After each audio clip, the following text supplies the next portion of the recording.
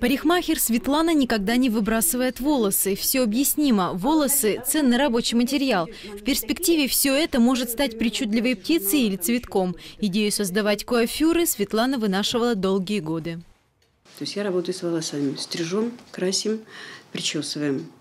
И э, когда м, один и тот же материал в руках и работаешь много лет, все равно какие-то появляются еще мысли.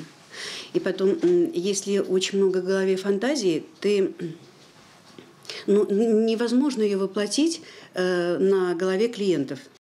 Издревле парики имели и ритуальное, и декоративное назначение. В 17 веке во Франции начался настоящий бум искусственных причесок. Уважающий себя придворный имел как минимум три парика. Черный для утра, каштановый дневной, светлый вечерний. Такие парики посыпали пудрой или мукой. Народ попроще мастерил куафюры из овечьей шерсти, конских хвостов, водорослей, волокон конопли и кукурузы. В дело шли даже волосы казненных преступников. Дамские парики держались на каркасах. В моде были необычные формы – груши, яблоко или сердца. Вот видите, чтобы так было красиво. Это нужно с терпением по волоску. Сами такие у нас же подушечки пальцев рабочие.